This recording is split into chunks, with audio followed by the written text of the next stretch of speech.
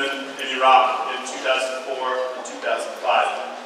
And my tour included the Fallujah offensive, uh, which remains the largest and most violent U.S.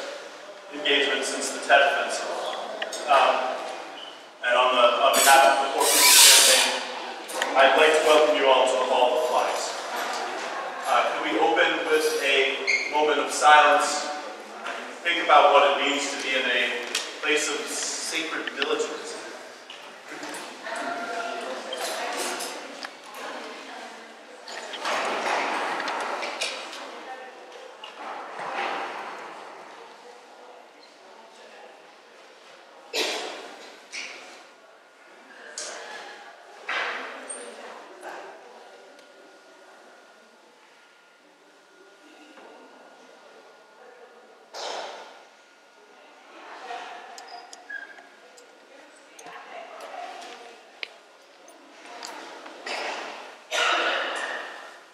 on the wall around this corner, there's a plaque, and it the U.S. service people who since 1979 have died in combat in the state of New Hampshire.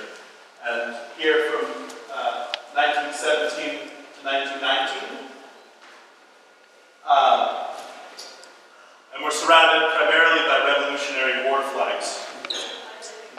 Um, on this plaque around the corner, there are a few people who I, I know. Um, one of them was a captain of my uh, football team, uh, my freshman year in high school. He was a senior. Another's a, a boyfriend of a friend of mine. Uh, a soldier who joined my company, mountain company, a few months before I left the Guard. And I, I wanted to take a couple minutes here to talk about some of the names that don't make it to plaques even though the war killed them just as sure. In the Army, each infantry platoon, which is about 40 soldiers, has a medic responsible for the health and well-being of those soldiers. My medic's first name was Eric. You don't use first names in the Army, uh, only last names, but in the case of your medic, you just call him Doc.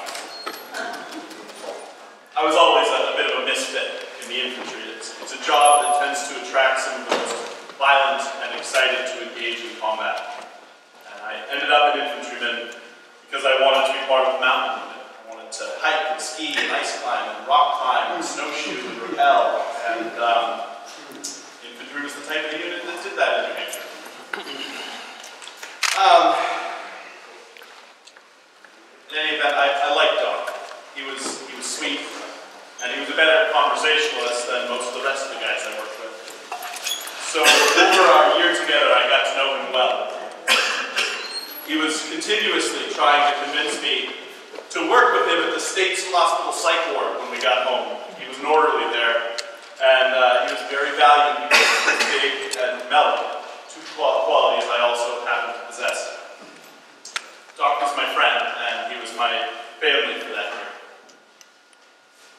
And about three years ago, I watched Sergeant Charette and Captain Paquin and two of Doc's family members lower his casket into the Veterans Cemetery in Boston. On my company Facebook page, many of us posted something blaming ourselves. I wish I would have reached out and asked how he was doing. Type posts. Someone posted a memified poem about how we owe it to each other to reach out and say something before taking our own lives. But the 20-something veterans who take their lives every day still die. And uh, sometimes as I have my monthly meeting with my therapist at the VA, I worry that I'm taking time from somebody who really needs it. Uh, more than I do. Uh, I have all of you supporting me. I have a really great supportive family. Um, and the VA keeps getting cut. But really helped if I could sit and have of coffee with Doc. Because I, of my work and my devotion to peace, I find talking to other soldiers very threatening. Uh, people tend to get emotional about things that are major experiences in their lives. But I, I could have talked to Doc. I, um, I don't know if he would have agreed with the work I do. Um, but I know we could have a conversation about it without having to feel threatened. And no offense to you or my family, but Doc understood because he was there with me, going through. Wasn't long after Doc, my friend Jacob, also died of what he called soldier's heart. I met Jacob twice, once at an Iraq Veterans Against the War Strategy Conference in New Mexico, and again at a Veterans for Peace board meeting where he pitched to us his idea of riding his bicycle from town to town and playing his banjo, and talking about Afghanistan until the war was over. He called it his ride to the end. The war in Afghanistan is still happening. Jacob didn't make it. I, I didn't know him like I knew Doc, but he struck me as the kind of heart that touches every other heart it meets. And his music was beautiful. And knowing he's gone, I can cry when I listen to it when I'm alone. I'd, um, I'd like to play a small part of Jacob's song, Soldier's Heart, in his memory. Um, and I'm going to look back at the security guard, see if I can get a nod on that, because I, don't want to go to jail today. Would that be all right?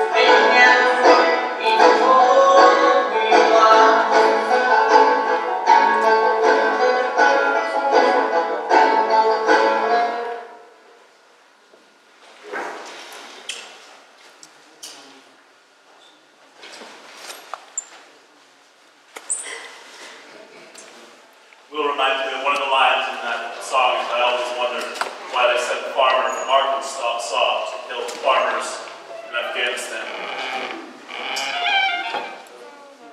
Doc and Jacob are gone, and the war's killed them. Uh, the same as it killed those folks on that plaque and these folks on this plaque. Uh, they don't get a plaque, they don't get a parade, they don't get a special day to be remembered. They were my friends. So thank you me commemorate them.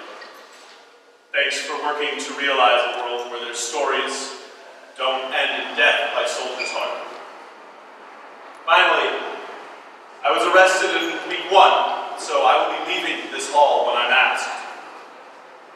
To those of you who intend to stay, teach, and learn about militarism today, how it's destroying our world, Thank you for standing for all of us and risking arrest to spread this message.